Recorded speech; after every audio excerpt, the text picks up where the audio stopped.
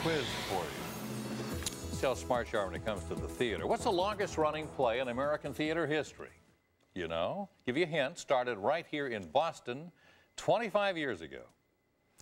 I think it's great. Shear madness, Yeah. what we're talking about. And, you know, they've been very good. They got a big anniversary coming up, and they've been good to Wednesday's Child over the years. And this is such a funny show. I've sent so many people there over the years, and everyone loves this show. It's hard to believe that it's actually been 25 years, but it's true. The comedy caper Shear Madness opened at the Charles Theater on January 31st, 1980, and it is still going strong right here in Boston and all around the world.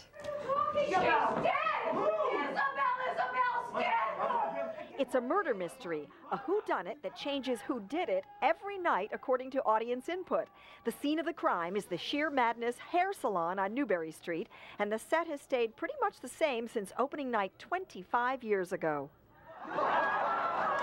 So this is where you would have made your first entrance, Marilyn and Bruce in the first cast. Yes. This What was was the it supply closet. Yeah. 25 years ago tonight. Yeah. It was a, a, a miracle.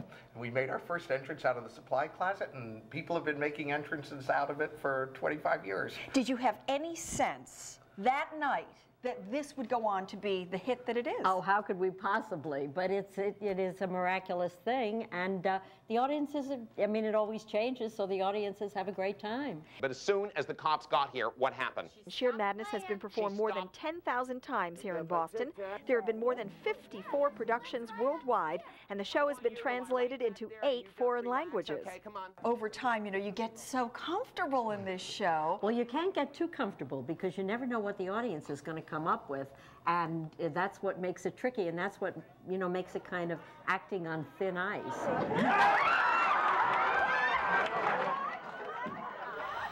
Well, tonight, Shear Madness will celebrate its 25th anniversary with its 10,475th performance at the Charles Playhouse. You can see the show Tuesday through Sunday, and if you have never seen Shear Madness, there might be one person out there who hasn't seen it.